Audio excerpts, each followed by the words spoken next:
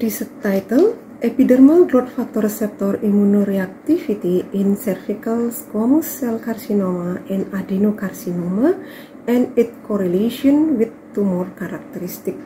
Research background Cervical cancer is the second most common cancer in women and occupies 15% of all cancer in women.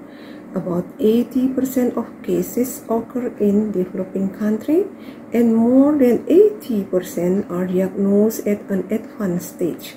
Cervical cancer is also a major cause of morbidity and 80% of death in women. The most common type of cervical cancer are squamous cell carcinoma and adenocarcinoma.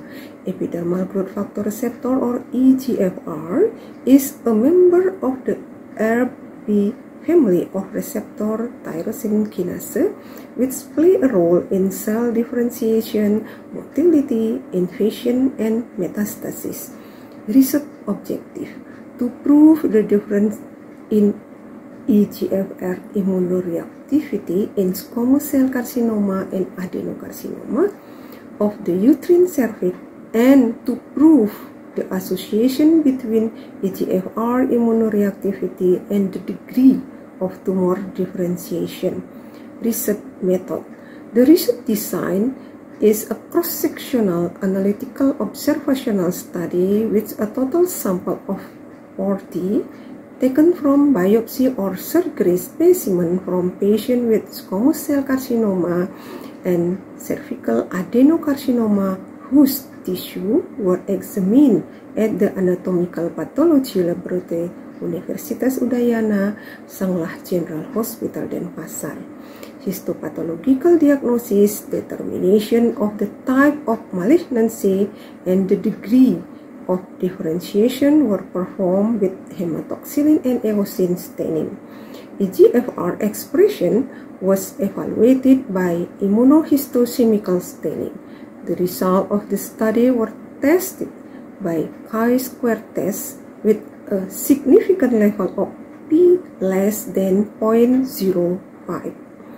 Result The age ring of squamous cell carcinoma is between 33 to 61 years, while for adenocarcinoma is between 28 to 75 years. The highest distribution was found in the 51 to 60 years age group, as many as 13 or 32.5% sample with a mean age of 48.2 plus minus 10.47 based on the grade of differentiation, low grade was obtained in 5 or 25% sample for squamous cell carcinoma and 80 or 40% sample for adenocarcinoma. High grade was obtained in 15 or 75% sample for squamous cell carcinoma and 12 or 60% sample for adenocarcinoma. Low EGFR expression was found in 7 or 35% sample of squamous cell carcinoma and 15 or 55% adenocarcinoma sample. High EGFR expression was found in 13 or 65% sample of squamous cell carcinoma and 5 or 25% of adenocarcinoma sample. There was a significant difference in EGFR expression between squamous cell uh, carcinoma and adenocarcinoma with P equal to 0.026. Squamous cell carcinoma has a risk of prevalence of high EGFR expression of 2.5 times compared to adenocarcinoma. Low EGFR expression was found in 4 or 80% sample of low-grade squamous cell carcinoma and high EGFR expression in 12 or 80% sample of high-grade squamous cell carcinoma.